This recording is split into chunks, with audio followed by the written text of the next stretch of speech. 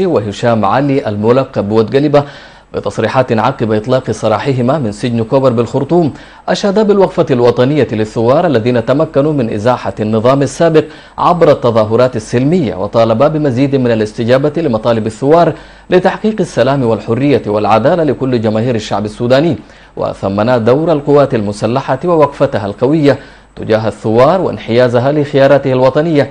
كما ثمنا دور قوى التغيير التي أحدثت حراكا ثوريا أطاح بالنظام السابق. بدعم كل الخيارات وكل المواقف اللي قدمتها قوى الحرية والتغيير. أنا جندي من جنودها ما بصرح أي تصريح فوق تصريح.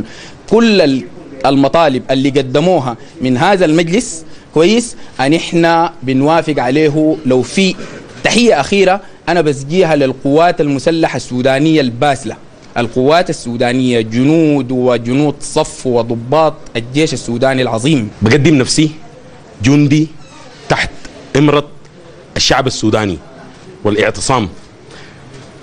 جندي من جنود قوى الحرية والتغيير. ما عندنا كلام الآن نقوله غير كلام. حنلتزم بكل موجهات الشعب السوداني بكل المطلوبات وبنشكر آه الإخوة في الجهازين الأجهزة الشرعية اللي هي ملك الشعب السوداني الشرطة وقوات الشعب المسلحة.